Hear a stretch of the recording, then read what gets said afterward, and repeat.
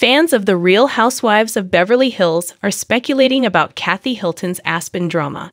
They believe Lisa Rinna is exaggerating it.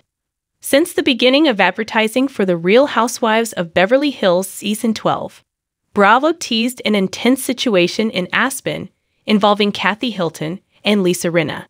All fans could gather from the trailer was that Kathy had something of a tantrum that the other ladies weren't expecting.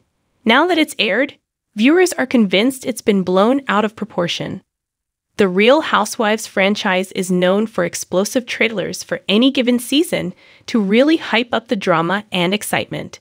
Every new season, fans use what information they've been given in the trailer, plus any social media hints from the cast, to try and piece together what the conflicts could potentially be about. This was especially true for RHOBH Season 12, considering Kathy isn't even a full time cast member, and she has such a reputation among the wealthy. The episodes showing Kathy's apparent blow up have now aired, and fans are naturally weighing in.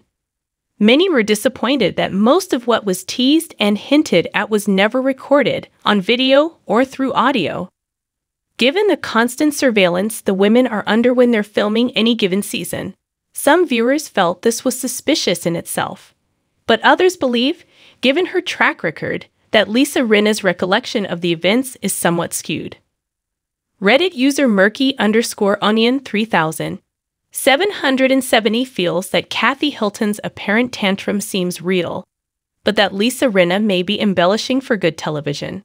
This wouldn't be the first time she's done that either. In RHOBH Season 6, Lisa's main point of conflict was her bringing up Munchausen syndrome in relation to former housewife Yolanda Hadid's Lyme disease. There were many moments in which the situation could have resolved itself, but Lisa continued to bring it up.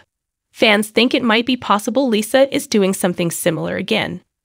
Another Reddit user, the underscore anon underscore female, is convinced that Lisa is just trying to expose Kathy for the fact she's definitely not the nice and friendly woman she tries to portray herself as. A few others are of this opinion too that Lisa is just trying to get the other women to see that Kathy is different from what they all think she is, while some believe Lisa is trying to keep her diamond and her place on the real housewives of Beverly Hills by exaggerating and embellishing her encounter with Kathy Hilton. Others believe she's only trying to show the rest of the cast Kathy's true colors. At this point, nothing is fully clear, and fans will continue to speculate until more is revealed. But until then, the internet will most likely continue to develop theories and try to figure out what's going on.